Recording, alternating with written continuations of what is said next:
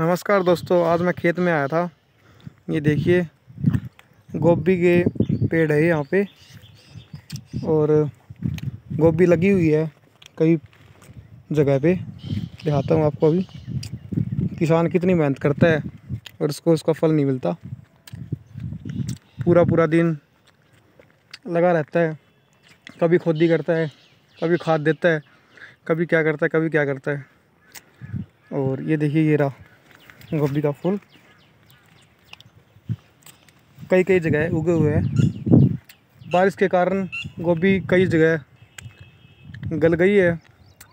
उनको किसानों को कोई भी मुआवजा नहीं मिलता। सरकार अगर इसकी साइड ध्यान दे तो किसानों का सुधार हो सक सकता है अच्छे से।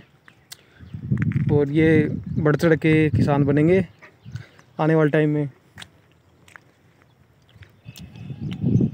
ये देखिए। बाकी मेरी वीडियो को लाइक कर दियो शेयर करो और मेरे चैनल को सब्सक्राइब कर दिया करो। धन्यवाद।